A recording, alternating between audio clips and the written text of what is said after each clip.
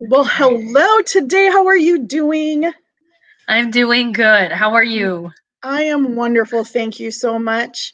So, why don't we start off with you telling me a little bit about um, who you are, what your position is, who you work for, which is, should be pretty obvious because you're wearing the blue team shirt. Yeah. but please share with us. Sure. Well, my name is Melissa. I go by Mel. Uh, I work at Fastenal. I've been at Fastenal for more than 10 years. My entire professional career actually has been with Fastenal. Um, I'm from nearby in the area, one of the small towns near you. And I went to RCTC for community college and then transferred to Winona State uh, to get my bachelor's degree in human resources and business administration with a minor in management. So I graduated in 2012. Um, but I started working at Fastenal actually uh, in my junior year. So almost when I was finishing up at Winona State. And um, I was just really trying to find a job that related to my major and to see if, you know, is this the, really the, the career path for me? and uh, so I did. I got a part time position in human resources at Fastenal as a college student which was awesome. You know, able to earn some internship credit, get some real world business experience. And they offered me a full time job in human resources by the time I graduated.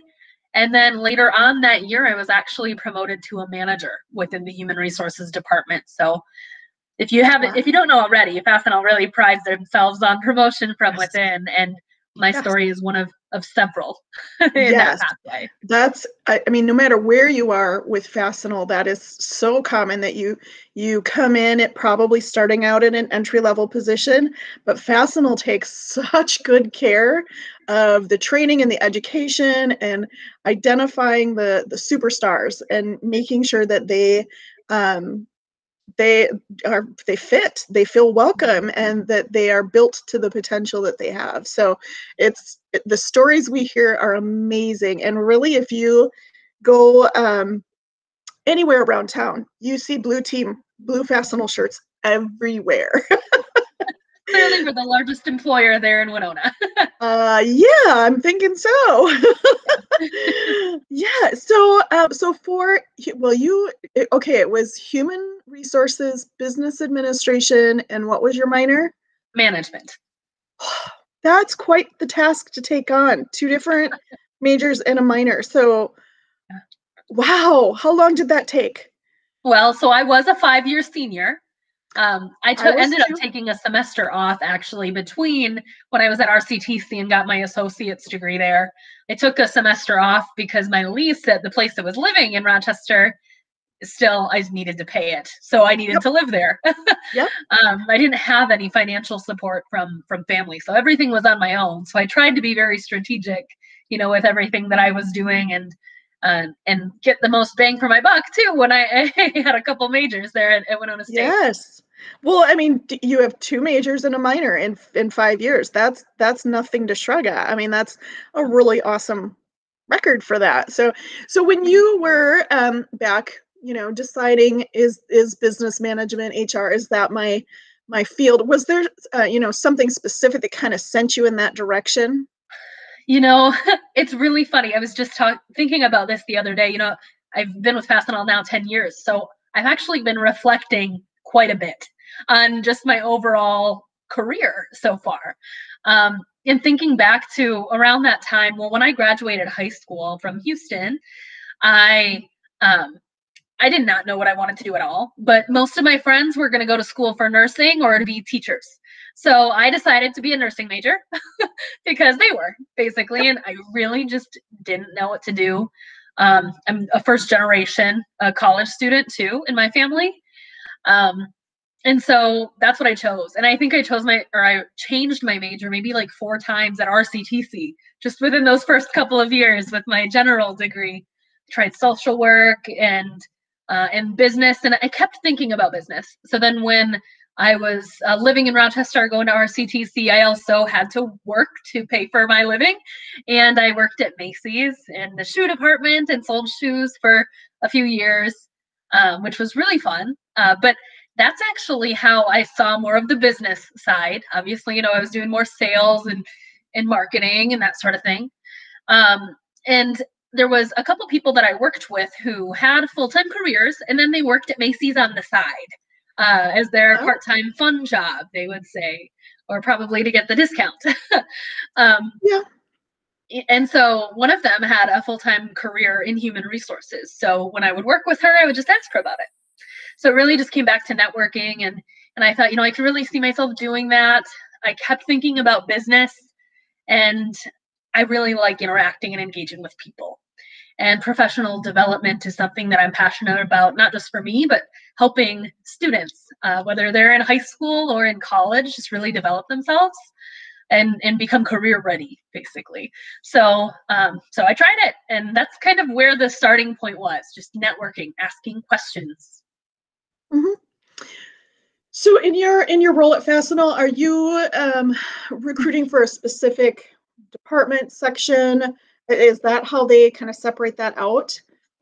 Sure. So the human resources department at Fastenal is very specialized at a small company. You know, there may be only one, two, or three HR professionals, and they do, they're called HR generalists. And they'll do everything from payroll to benefits to hiring and termination and training. Uh, but Fastenal, since we're so large, we have very specialized teams that do all of those functions. So there is a payroll team, there is a benefits team, an insurance team, a training team, and then my team. My team, we are the diversity and compliance team. We're responsible for a few different things. The primary one is the hiring process, and then employment law, and just general recruitment. Um, so my team is the team who posts all of the job openings for Fastenal. Whenever there's a, a new position available anywhere in the country or internationally, those managers locally, when they have the need, they let us know. We post them online. And then once some people start applying to the jobs, then my team actually screens all of the applications and resumes for all of the positions in the company in the US and Canada and Puerto Rico and Guam, anyways. Um, and so then we'll do the phone interviews. So all of that first part of the hiring process is centralized through my team, which is really fun. We stay really busy because um, of all the applications that are coming through uh, for for all of Fastenal's 3,200 locations. We usually screen between seven to 10,000 employment applications per month. Wow. So we If stay you very, need very help busy. screening in Guam, you just let me know. I'm Yeah. right there. I will abs I can take the hit hit and, and go to Guam for you. I mean, oh no. Well, and, and that's the fun part. We're all located in Winona. Oh wow. So and you're everywhere. centrally. So There's you like guys people on had my team right now. you had the virtual employment process down before it was necessary. Yes, we're we're basically the gatekeeper, though. So though, so when people apply, they have to get through my team basically, and once they do that, if they can prove that they meet those qualifications in the job posting, then their application materials will go to that manager in Guam, or maybe Willie in the manufacturing department, or other um, different teams within the company. But you got to make it through us to get to them Mhm. uh, which is where your offer will come from is is them you know they make those final hiring decisions So then what what are you looking for in a Fastenal person? It- You know, if we could kind of generalize that um, to an overall personality, because I, I mean, what you're looking for in a CNC machinist is different than an HR person or things like that. But in general, what are you looking for for Fastenal? sure so Fastenal has four really core values that we live by and we really look for that with every single person we hire um, even our interview questions fun fact are geared towards these four core values um, the, so the first one is ambition. You know we're always looking for someone who has a really strong work ethic wants to work hard wants to succeed. We promote from within so we're looking for those people who want to prove themselves and keep advancing with us as we continue to grow. Um, innovation is another core value of ours. Our entire business model as a company was founded on an idea to dispense nuts and bolts out of a vending machine which didn't happen back then but eventually uh, it, it became possible and so we're we're the leader in industrial vending and so we're always looking for new ideas and ways to problem solve and to do things to make our business better and to help us keep growing so that real real true innovation side is something that that I really love about the company. Um, and then another value is teamwork. So being able to work in pursuit of our common goal as a company, our mission is growth through customer service. Mm-hmm. So no matter what position you're in, you know, we have that as the common goal and in being able to to work together as a team to collaborate to make decisions and to and to grow and provide really great customer service mm-hmm. uh, and then integrity and that's really just doing the right thing no matter whether everyone's watching you or no one is mm-hmm. um, and really just being honest with with your work and and in your life mm-hmm. So we have, I mean, it, you know, Fastenal is a manufacturing company, uh, but not all departments in Fastenal are factory related. Um, the reason I say that is because, you know, typically people under 18 cannot work on a manufacturing floor. Mm-hmm. However, we have quite a few students who work in picking because that's not the floor. um, and really, what I have heard from almost every one of them is pride in getting their work done, that I picked the orders correctly, everything checked out. Um, we got them to the customer. Like there was a lot of there's every single one of them talks about well today i i didn't pick any errors you know that kind of stuff they're really very proud the other thing is that once you hit 18 um, and I, I guess apparently this is a negative for that department supervisor but it's common that once you turn 18 you get scalped by other departments um, but that is a great entryway into um, you know anything manufacturing at least you know until you turn 18 or until you get that that degree depending on the position that you're applying for um, so there mm-hmm. are areas and departments within fastenal that you can work in before 18 it's not just the factory floor i right. think another really important thing for people to understand is there's absolutely that um, the stigma, the dirty hands stigma about manufacturing. And if you have not been on the floor in Fastenal, it's easy to understand why you would think that, but it is mm-hmm. absolutely not the case. Right. It practically sparkles. we, we do a good job. We like to keep our work environments clean and safe. Yes. And it's not that hot, sticky, dirty. Eh, you know, I mean, there are areas and machines that do get hot, but for the most part, wow, it's very clean. It's very well lit. The people are very well dressed. It's not like they're, you know, covered with grime and everything. Or if they are, it's not Fastenal's fault. It's because they came in after working on their car. No. yep, very well could be. but it's not that same um, stigma of manufacturing that it used to be. There are robots there are robots on the floor. It's yeah. fascinating to me. Yeah, we're really, really innovative with with all of that technology and the automation to to make our company better, to be able to serve our customers really faster than the competition, but still being able to provide these really incredible jobs, like you said. The the positions in the warehouse that that many students under 18 are working in, picking, receiving, shipping, packing, those are so depart so important those departments are because we need them to be able to get the product to our customer really fast and mm-hmm.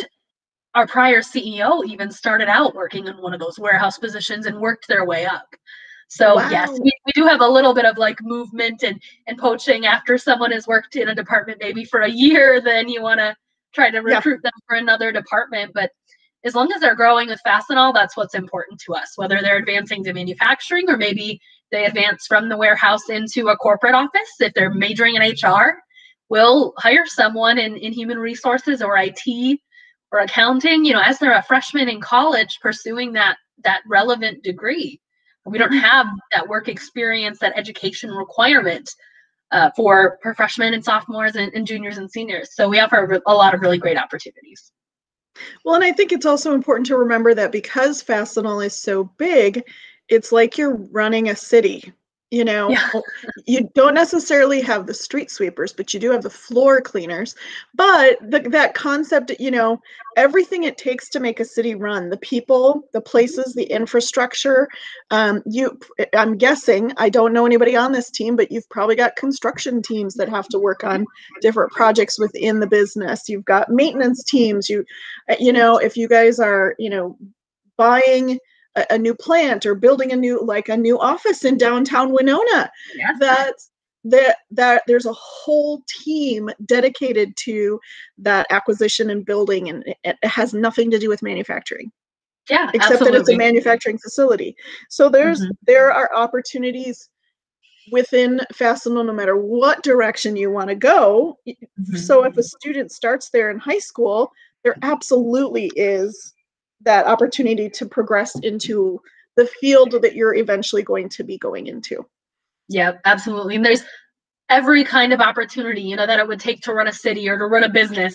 is here in Winona at our headquarters. We have everything from sales, IT, accounting, finance, product development, supply chain, marketing, um, manufacturing and warehouse and drivers, you know, semi-truck drivers and and industrial services like people who weld things and fix tools and fast solutions experts who are working on our vending machines and making sure they're assembled right, putting tracking together to, to give reports to customers and analytics teams. I mean, it's it's really endless, especially here in Winona. But outside of Winona, we're really known for where we're here, you know, we're really known for manufacturing. But outside of Winona, we're known for our sales and our supply chain because we have we have nine manufacturing locations but we have Mhm. 3,200 sales and supply chain or branch locations. So that's Mhm. mostly what people know us for. Oh, they sell fasteners or nuts and bolts and, and tools and things like that. We sell the construction supplies and safety products, you know, all the Yep. masks, gloves, gowns, shields, all of that product that everyone has been so familiar with, especially the past year. Um, we, we sell that, we supply that to customers. So we've been very, very successful. I have to tell you, and this is probably something I should tell many, many people. I was um, randomly looking for a campground to stay in in West Virginia, and one of the pictures was of a Fastenal truck parked right in front of a camper. So somebody in West Virginia who worked at Fastenal was visiting this campground, and it's the picture that they use as their like cover photo saying, "Oh, look at our beautiful panoramic picture," and right there in the middle is the Fastenal truck. So Oh, that's cool. You have, to, you have to send me They're that. all over it's the place. still that picture. I'd love to see it. It's it's I'd so cool. Yeah, anytime I'm on a vacation or or driving around, um, you just start when you realize how big Fastenal is, you start seeing our branches in random cities or states that you may be in or visiting or driving through, or you see our trucks or our semis or our pickup trucks on the road. You start to really recognize that, and it's pretty fun. It is. Well, like I said, if you ever need help in Guam, maybe that's my, you know, what I do when I grow up. Maybe. I don't know. there we go. So kind of flipping back to um, to a focus on HR, let's talk about education and training. Obviously, you have the bachelor's, multiple bachelor's degree. Is that is HR one of those um, careers that you really suggest uh, master's degree, or you really have some pretty amazing career opportunities as with a bachelor's degree? Yeah, we, we really we don't require a master's degree. We actually, in most cases, don't even require a bachelor's degree.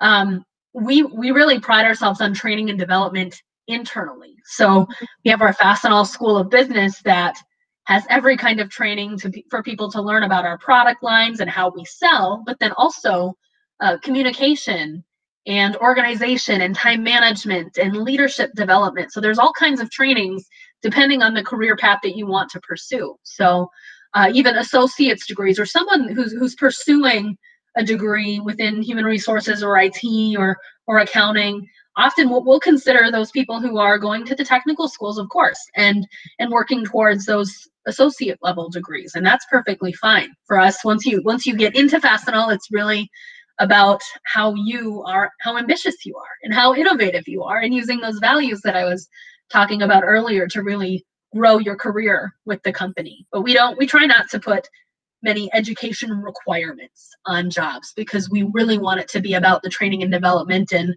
and the ambition of each individual employee. Now, do you get to spend any time on the floor ever? Like, uh, uh, you know, is there a cross training or something like that that you get to be out there and experience things? Yeah, we're really, really good. I mean, not not as much now during when COVID no. has been happening, no. but prior to that, if someone wants to shadow a branch and see what it's like to work uh, in sales, you know, I've done that. So I, I asked to do that, and and our our culture just really shows in every location that we're in. I was visiting family in Florida, and um, all my family they were going to work one day and so i thought you know what? There's a fastenal branch down the street. I'm going to tag along with them for the day. And uh, and so i worked too why not that branch and just just shadowed around to learn more. So all of our our teams they're so welcoming and encouraging and want us to learn more about the company and ultimately you know you know that's what really helps keep us stay with the company is to just keep learning and seeing what opportunities there are Great. I was going to ask you um, what demand is like, but I, I, with a company you're big, as big as you guys, you will always have job openings, which is either a good thing or a bad thing. yes, we always will. We actually have more job openings now than we have in a very long time. But in general, you you always see around 900 or 1,000 job openings listed on our website, careers.fastenal.com. Uh, and recently, we've had over 1,300 job postings on our website. There's more than 1,300 on there right now, and you know that's for the entire nation and internationally. Uh, so mm-hmm. all of our locations and openings are listed on the website. But um, even in Winona, there's oftentimes there's a lot of even 50 job openings right now. I think there's over 60 job openings in Winona. So wow. and that ranges from the distribution center to accounting other administrative positions, you know, operations and sales and supply chain and manufacturing and every wow. area of our company we're hiring in. So well, we've got over a thousand students starting summer in a couple of months, so let's hope a few of them come your way. yeah, we could definitely use them. That's for sure. Yeah.